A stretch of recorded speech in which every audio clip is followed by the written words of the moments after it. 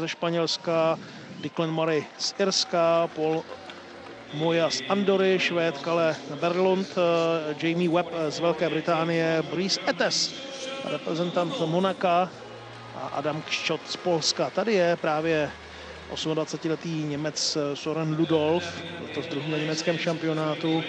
No a tady je největší favorit.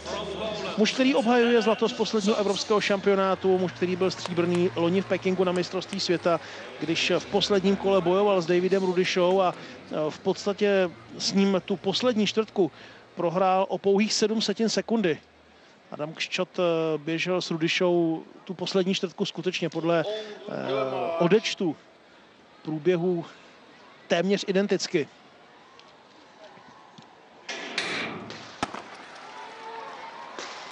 Tak opakovaný start.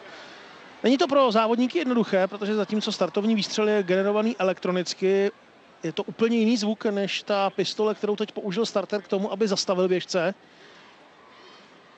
Vůbec se nedivím, že ten uh, moment byl pro běžce trošku rozpačitý, tak se podívali po sobě, byl to výstřel, nebyl to výstřel, co to vlastně bylo. Ale skutečně to byl výstřel. A teď se bude řešit, uh, jestli tam byl předčasný start a někdo z téhle osmičky vypadne. Samozřejmě na osmistovce neexistují elektronické bloky, které by kontrolovaly starty. Vzhledem k tomu, že se z bloku restartuje, tak to je pochopitelné. Takže je to jenom na oči a v tuhle chvíli varování pro Paula Moju z Andory že na startu nemá přešlapovat, že start musí být z klidu. Aspoň tak jsem tedy pochopil gestikulaci rozhodčího. Takže 19-letý Paul Moja. Celku jasný outsider tohoto běhu.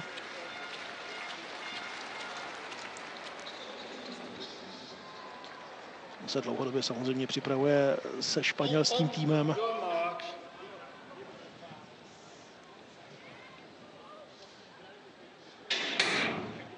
A na podruhé už všechno v pořádku. Adam Kščor by si měl zajistit postup do semifinále, o tom není sporu. Vidíme, co Brice Etes, protože tenhle zkušený do 30-letý reprezentant Monaka letos eh, toho zatím v té letní sezóně mnoho nepředvedl. Ale zkušenosti rozhodně má.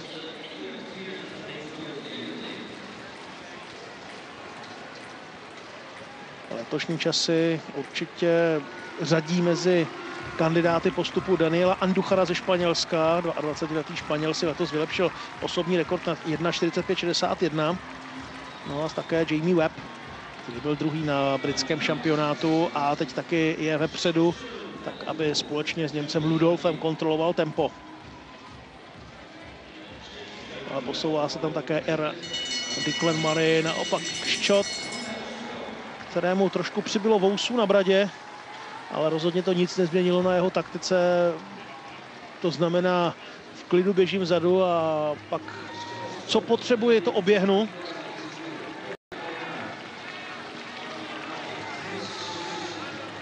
Je pravda, že 26-letý Polák má spoustu sil. Podívejte se, jak lehce se teď přehnal přes všechny soupeře a během té protilehlé rovinky se z posledního posunul na první místo. Za ním stále Soren Ludolf eh, a také Jamie Webb. Dobře se drží Andořan Moja.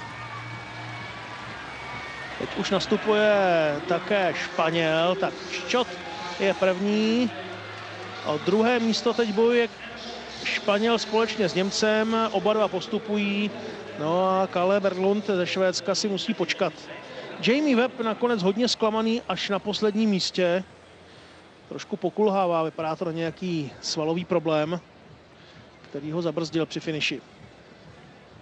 Kščot v klidu 1.49.38, což je samozřejmě dobrá zpráva pro Gretchena, Lachbího, Bottermana a také Žana Rudolfa, protože z tohoto běhu půjdou skutečně jenom tři nejrychlejší, takže Kščot, Anduchar a Ludolf, jinak se už na nikoho nedostane. Jak říkám, na rozdíl od třeba stovky, dvoustovky, čtvrtky. Na osmistovce to není kvalifikace, ale je to skutečně rozběh. To znamená, viděli jsme všechny závodníky. Není to tak, že by v tomhle případě ta desítka nejrychlejších nastupovala až do semifinále. Adam Kščot ukázal, v čem je jeho síla.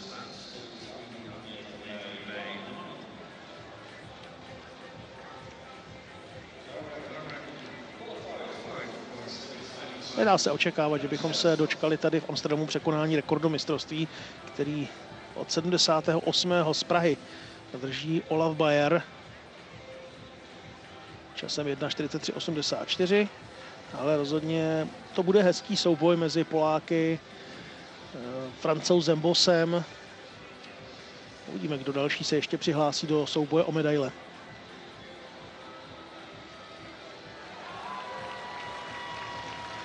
Tady jsou potvrzené postupy. Kščot, Anduchar, Ludolf.